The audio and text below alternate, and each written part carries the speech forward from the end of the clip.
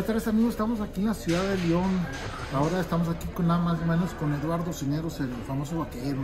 Lo recuerdan de Monterrey, con las Chivas, Potosino, Veracruz, Atlético Español, también seleccionado mexicano en una etapa también. ¿Alguien más, Eduardo, que haya apoyado a otro equipo? Eh, no, no, no, no. este, sí. Pues este es un gran honor que nos permitan entrevistarlo, don Eduardo. Este, incluso mucha gente que está en el grupo lo va a recordar y muchos compañeros que jugaron con usted también ah, lo van a ver ahí también en la entrevista. Y pues este es un honor. Si gusta saludar al, al grupo adelante, don Eduardo. Tal, bueno, muy buenos, muy buenas tardes. Grupo, ¿cómo están? Aquí está el vaquero Daro Cisneros a la orden para todos ustedes. Ah, Don Eduardo, pues este, platíquenos cómo fueron sus inicios en el fútbol mexicano, cuál fue su primer equipo, cómo fue que se inició usted en, en- en el profesional. Bueno, se me olvidaba un equipo, eh, fue Pachuca. Pachuca. Yo empecé eh, a los 15 años, llegué a México con las reservas de Pachuca, nos traía el Diablo de Numea, que jugó, jugó él en Necaxa. Yo llegué un martes, entrené martes, miércoles y el jueves nos citaron a, a Pachuca para hacer un interescuadras con el primer equipo, donde estábamos así, estaba Benito Pardo, estaban con muchas estrellas. Acabó el entrenamiento y me citan a mí a, a la oficina y firmo un contrato de primera división a mis 15 años, en tres días. El sábado estaba yo viajando a Monterrey para ir de suplente con el primer equipo. ¿Recuerda cuál fue su debut? ¿Contra cuál equipo eh, debutó usted? Mi debut en primera división fue contra el Atlante, cuando estaba yo con Atlético Español. Me acuerdo muy bien, fue un viernes, en la noche estaba lloviendo. Hice mi debut, anoté dos goles, dos goles que le hice a Rafa Puente. ¿sí? Entonces de ahí, de ahí empecé. ¿Qui- ¿Quién era el cuadro que jugaba con usted en ese equipo? Mira, en el cuadro estaba, estaba Manuel Manso, estaba Álvarez, estaba Jesús Rico, el Pimienta, Pedro Saldaña, estaba Enrique Vázquez del Mercado, un descanse, eh, Alejandro Roman, Tomás Boy, Benito Pardo, Ricardo Brandón, Rodríguez Vega, un chileno, Sí, sí, ah, Bayubá Ibáñez, Pío Tabaré, un buen equipo. también. muy buen equipo había. ¿Quién era el entrenador de ese equipo? el- estaba don Ricardo de León. Ricardo de León. Sí. Sí, sí. ¿Cuánto tiempo estuvo ahí en, en el equipo de Yo estuve tres, tres, tres temporadas. tres temporadas? Dos de ellas salí, salí campeón goleador en reservas. ¿sí? Y este, después nos, nos vendieron a Veracruz. Hay una anécdota muy buena porque don Ricardo de León nos di- di- le dijo a la directiva que no vendieran a nadie, pero que ese equipo iba a sacar campeón. No le hicieron caso. Nos vendieron a todos, a, a Veracruz, vendieron a Paco Montes, a Pedro Saldaña, a Vázquez de Mercado, a mí. También. Sí, y Brandón, o sea, la verdad, la verdad, cuando llegó Ricardo de León de vacaciones y vio que no estaba ya muy, muy bien el equipo, dijo yo no me quedo aquí y se fue a Toluca y nos tocó campeón a Toluca. Sí, sí, sí, no, pero buen entrenador uruguayo. Muy bueno, muy bueno. ¿Algún recuerdo que tenga de esa etapa con los compañeros de que usted haya metido un gol? eh, Bueno, su debut, claro, de los dos goles que anotó, pero otro partido que ha sido muy importante, trascendente en, ahí en su carrera en Atlético Español. Yo ahí casi, casi en Atlético Español nomás hice dos goles ahí, yo, yo casi no, no, porque había mucha estrella. Sí, yo jugaba de, de extremo, imagínate. Quitar a Muñante, quitar a Alejandro Roman. O sea, era muy difícil, quitar a Tomás Boy. Sí. Entonces dice que de ahí se fue al Veracruz. De, ahí, de ahí, de ahí me fui a Veracruz. Allá con quién se encontró en Veracruz. Allá me encontré otra vez con Vázquez de Mercado, con, con Ricardo Brandón, Juan Carlos Oblitas que llegó, peruano buenísimo, como persona excelente. ¿sí? Estaba don Pepe Monsiváis. Y yo a don Pepe tengo que agradecerle mucho, porque él fue el que me hizo el 10, me puso de medio. ¿sí? Y en un partido contra Pumas, me dijo, ¿puedes jugar este puesto? Dije, yo lo intento, señor, yo lo intento. Y me puso de 10 y yo creo que ese día le gusté mucho cómo jugué y ya comencé a jugar de 10. ¿Al- ¿Algunos goles ahí con el Veracruz también? ¿No te Sí, metí muchos, en Veracruz sí metí Pero muchos. tuvo que haber uno, dos, tres que hay que, que le lleguen a la memoria que fueron importantes, que un triunfo tal vez. Pues metí uno, metí uno, este, casi de, casi de media cancha. ¿Contra qué? Sí, fue, fue contra América. Contra América. Contra América. ¿A quién? ¿A quién se- estaba Paco Castejón. Ah, contra- sí, Sí.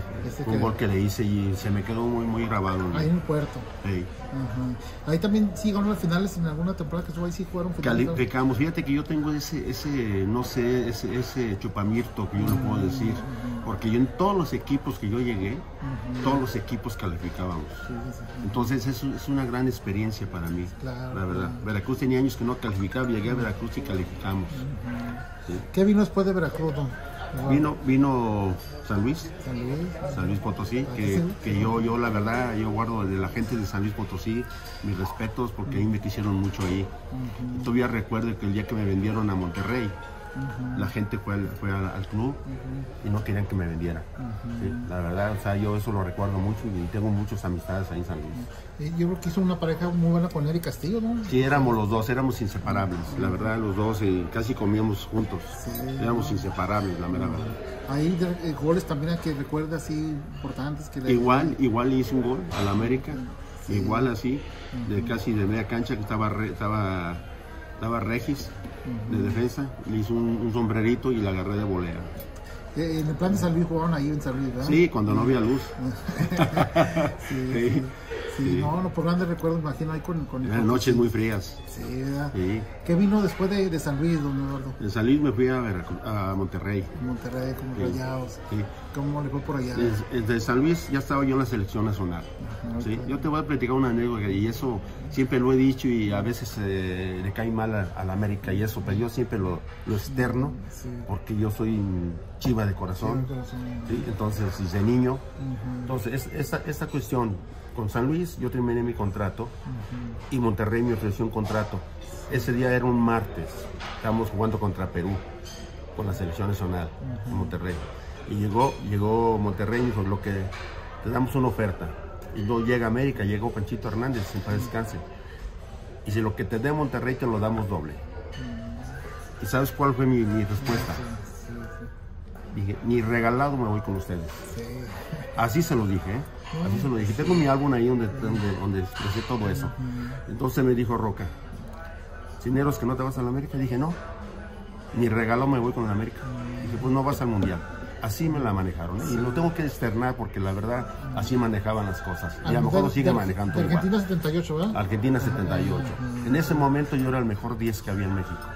Sí, dicho por los cronistas, por el periódico, por todo el mundo. Era el mejor 10 que había. Sí.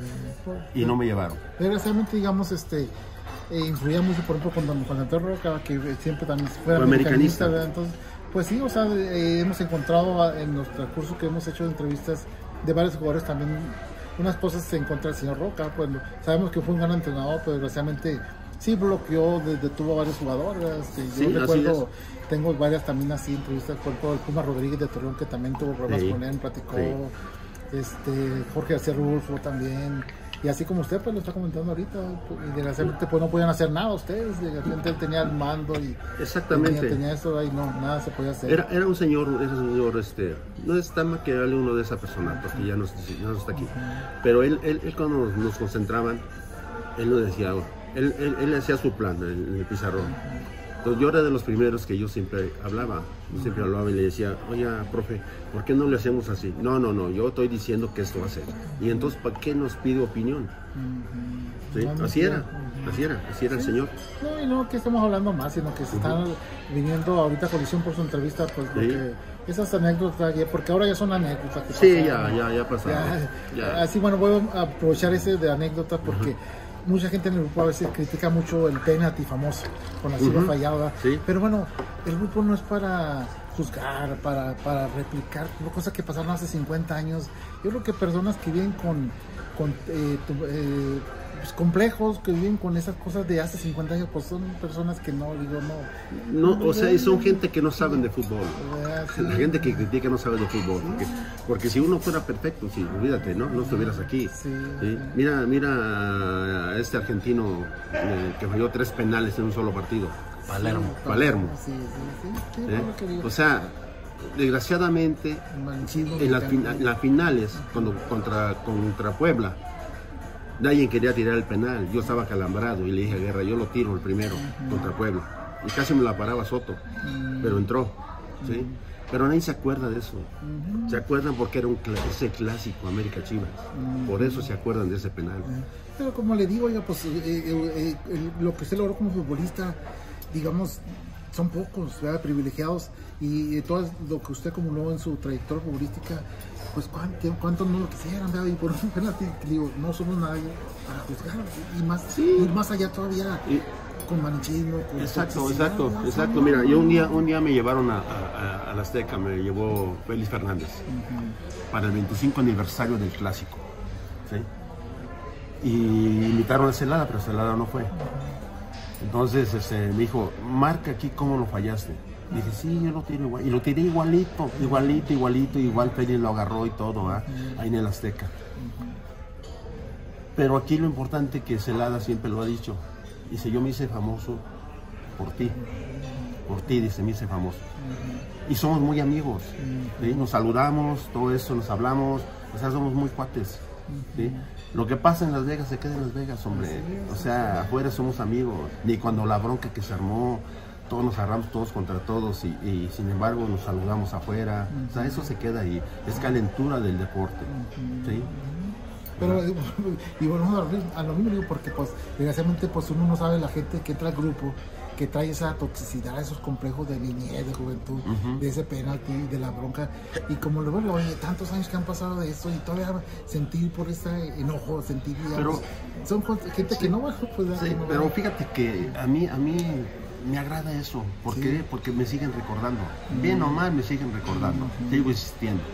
Entonces, eso es bueno. Yo digo que en esta vida tienes, tienes que hacer algo para que te sigan recordando. Sí, sí. ¿sí? Bueno o malo, pero te van a recordar. Y al día que ya te olviden, entonces sí, ese, ese día te pones a pensar, ah, caray. Ah, Vamos a, a- a seguir de, de Rayados que llegó a Chivas, ¿no? De Rayados. ¿no? De Rayados regresé a San Luis. A San Luis. Regresé a San Luis otra vez. Y aquí estuvo también otro Sí, tiempecito. otro tiempo. Estuve ahí un, un año más y después de ahí me fui a Chivas. Chivas. Ahí con Chivas yo creo que vivió una buena, digamos, fue una experiencia muy buena y con muchos jugadores de renombre también, ¿no? Lo que pasa es que hay en Chivas, en Chivas, pues Chivas, ya dice uno, Chivas aquí en, y en China es, Sí, es Chivas, o sea, es una cosa muy especial. Jugar ahí en ese equipo y, y que encajes con la gente es muy difícil. De verdad es muy difícil que encajes. Debes de ser una buena persona, llevarte bien con todo el mundo, o sea, y cumplir como debes de cumplir en la cancha. Yo en Chivas siempre llegué, fui titular, fui titular, fui titular todo el tiempo.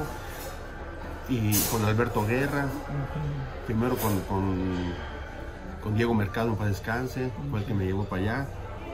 Y luego yo provoqué la ida de, de Guerra para allá, porque también a mí me pedían consejos para ir. Beto Agnesi, que era el presidente del club en ese tiempo, me dijo, ¿cómo ves? Tráiganse a Beto Guerra para acá. Es un hombre estudioso y, y está ahí. Y la verdad, sí, me hicieron caso y se lo llevaron para allá. Y, y fue de mucho provecho. Guerra hizo muchas cosas muy Fue buenas. campeón también Guerra con Chivas, Sí. ¿no? En el 86 creo, ¿no? Sí, ahí estaba también usted, don Eduardo, en ese equipo. Yo, ¿no? yo en ese tiempo salí para Irapuato a préstamo, Ah, pero no, no me pagó Irapuato y regresé a terminar el torneo con Chivas. ¿sí? Terminé el torneo con Chivas, yo ya pertenecía a Chivas todavía. Y ese, esa final contra, contra Cruz Azul, ni, ni Benjamín Galindo la jugó, ni yo la jugué porque estábamos, estábamos lastimados. El que la jugó fue eh, la Pina Arellano, papá. Y entonces, este, pero yo pertenecía a Chivas. Inclusive yo tengo un panza ahí de campeones del 86. Yo tengo un panza ahí. Entonces, yo fui campeón con ellos. A mí lo único que me hizo falta es verme ido a un mundial. Nada más. Pero bueno, ya en el ámbito de la selección nacional, ¿qué partido recuerda que le tocó participar? ¿En qué etapas fue? Sí, no, contra, adelante, adelante. ah, contra Croacia Contra Croacia. jugamos. Para, para el mundial Precisamente de- aquí en León. contra, para estar- prepararse para el Sí, para, para, para- para el mundial. de 78 Sí, de sí. Argentina. Estaba Hugo Sánchez, estaba Leonardo Cuellar, Víctor Rangel. O sea, todos, todos ellos estaban ahí. ¿Le tocó anotar algún gol, don Eduardo, con la selección ahí? No, fíjate que con la selección no hice goles. No, no, no hice goles. Sí. De, de los defensas que conoció, ¿quién recuerda que era el que más duro era que para, pegarle? Así que usted lo. ay, que hasta Mira, para mí, Cornero. Cornero. No, ese, ese, ese pasaba el balón, pero tú no pasabas. Otro, Carlos Gómez. Duro, duros, duros. duros. Arturo Razo. Qué raso, sí. Y Durito Barba también. No, eh, eran jugadores que muy recios, muy recios. No, no, pues tantas, tantas historias también lo que nos pueda contar. A ver, y así para terminar, díganos dos recuerdos que tengan muy grandes, uno bueno y uno malo. A ver, usted que tenga recuerdo, que un buen recuerdo que le, te- le llegue así y un mal recuerdo tal vez Pues, que haya tenido. pues mira, el- un recuerdo bueno es haber sido padre. La verdad, ese es un recuerdo hermoso. ¿sí? Pero en el fútbol, pues, En el fútbol, en el fútbol, recuerdo bueno cuando le ganaba a la América. Bueno, no, América. ¿sí? Y recuerdo malo, pues te puedo decir cuando fallé el penal. ¿sí? Por ahí fuera, para mí fue, mi carrera fue exitosa, no tengo ninguna expulsión en mi carrera en 20 años. O sea, nunca, nunca me expulsaron. O sea, es- es- eso quiere decir de una persona que estaba metida en lo que Claro, estaba. claro, ¿sí? Fría de la mente y caliente del corazón. Sí. Se me ocurre así la última pregunta para, para cerrar que ¿recuerda usted a cuál equipo le anotó más goles que era su cliente? Así, era cliente, que le quedamos así, el tal vez Torreón, Laguna, Zacatepec, que Había- era que usted le anotó más goles. Había dos, Mm, lo que era Chivas, cuando estaba en San Luis, y lo que era Atlas, cuando sus- estaba en ¿Cuál los que más goles le A anotó? Chivas siempre le hacía goles, Sí, sí. cuando estaba el Coco Rodríguez. Sí. Yo siempre que ahora que nos juntamos dije, tú eras mi cliente, siempre le hacía goles. Yo estaba en Potosino y siempre le metía goles, todo el tiempo. Y a Atlas, Chivas, con Chivas, siempre le hacía goles a Atlas. una vez que le metí tres y iba a meter un penal y me agarraron un penal para hacerle cuatro sí, sí. en ese partido. Sí. No, pues qué, qué grandes recuerdos, don Eduardo, y pues realmente le, le agradezco que nos haya permitido así estar con ustedes estos minutos y preguntar, no sé si gusta agregar algo, porque esta entrevista la van a ver muchos que estuvieron con ustedes, muchos jugadores que, que son miembros del grupo, mucha gente que lo conoce, que lo recuerda. Adelante, don Eduardo. No, pues yo, yo más que nada les mando un saludo a toda la gente que, que vivió mis partidos, que me conoció y, y los amigos de- del grupo. Los mando muchos saludos, la verdad, y que nos sigan recordando, ¿sí? porque recordar es vivir. Todavía nos tienen activos a nosotros de esta manera.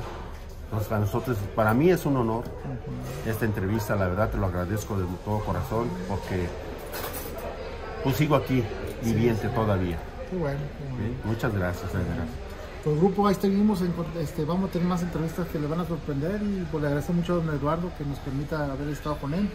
Saludos a todos, nos vemos. Saludos, espero que estén bien todos.